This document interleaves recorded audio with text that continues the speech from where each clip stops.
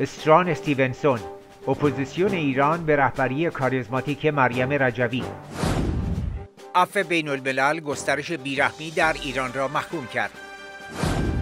آسوشیتد پرس تصاویر قربانیان رژیم ایران در ژنو.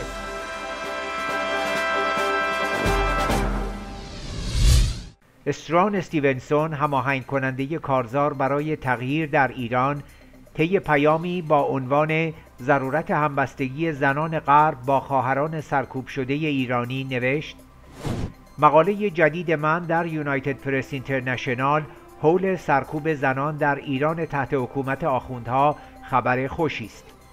اپوزیسیون به رهبری مریم رجوی یک رهبر زن کاریزماتیک است و زنان غرب می بایست با خواهران سرکوب شده ایرانی همبستگی نشان دهند.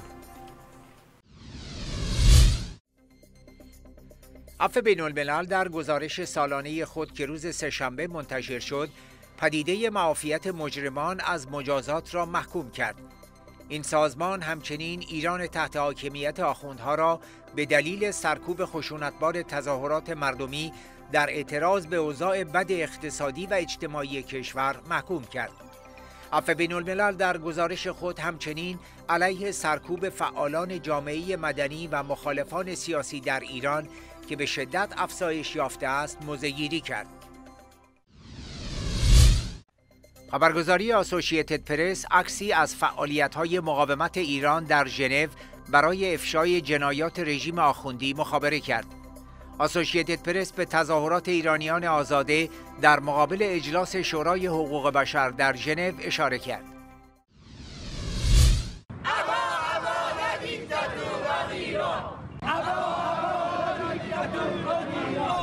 تظاهرات ایرانیان آزاده و اشرف نشانها همزمان با اجلاس شورای حقوق بشر در ژنو برگزار شد.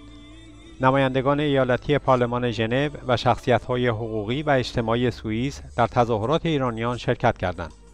تظاهر کنندگان گفتند نباید نمایندگان حکومت قاتلان را به شورای حقوق بشر راه داد. این اهانت به حقوق بشر است. آنان خواستار محکومیت نقض فاحش حقوق بشر و دستگیری و اعدام و شکنجه در ایران شدند. تظاهر کنندگان ژنو همچنین خواستار آن شدند آمران و عاملان قتل عام بیش از سی هزار زندانی سیاسی قتل عام شده در سال 67 به دست عدالت سپرده شوند.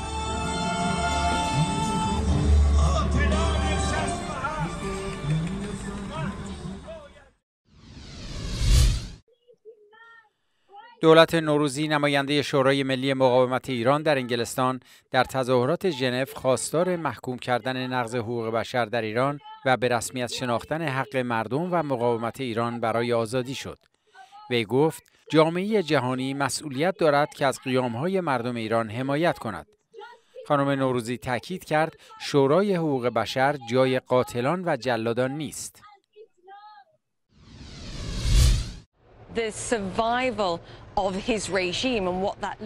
دونالد ترامپ رئیس جمهور آمریکا روز سهشنبه هفته اسفند به منظور دومین نشست با کیم جونگ اون رهبر کره شمالی وارد فرودگاه هانوی پایتخت ویتنام شد. هدف از این مذاکرات خلع سلاح هستی پیونگیانگ در ازای روابط بهتر با آمریکا و دیگر کشورها و رفع تحریم ها عنوان شده است. دونالد ترامپ و کیم جونگ اون عصر چهارشنبه شام را به اتفاق یکدیگر و به طور خصوصی صرف می کنند تا در جریان آن به برنامه مذاکرات خود در روز پنجشنبه بپردازند. طرفین امیدوارند بتوانند راهی برای اجرای توافقاتی که طی نشست خود در بهار امسال به آن دست یافتند پیدا کنند.